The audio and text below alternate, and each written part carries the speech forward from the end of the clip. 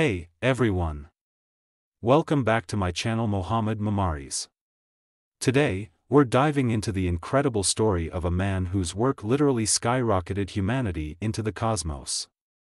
We're talking about none other than Wernher von Braun, the visionary aerospace engineer. Wernher von Braun started his journey in Nazi Germany, where he played a key role in the development of rocket technology during World War II.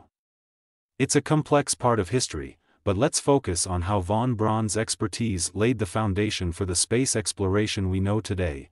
After the war, von Braun, along with other German scientists, found themselves on both sides of the Iron Curtain. In the US, he became a driving force in the development of rocket and space technology. Imagine going from creating weapons to launching humanity into space. Quite the turnaround, right? One of von Braun's most ambitious dreams was a human mission to Mars. He wasn't just content with conquering the moon, he wanted to reach for the stars.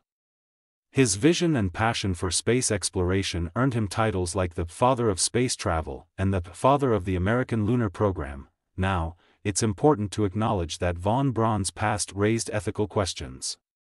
Working for the Nazis isn't something we can overlook.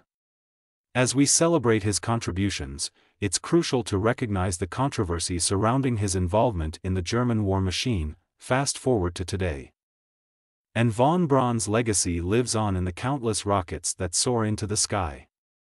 The advancements in space technology owe much to his early work. From the space race to Mars missions, von Braun's impact is still felt. And there you have it, the remarkable story of Wernher von Braun, a man whose journey took him from wartime Germany to the forefront of space exploration. If you enjoyed this deep dive into history, don't forget to hit that like button, subscribe for more content, and let me know in the comments who else you'd like to learn about. Until next time, keep reaching for the stars.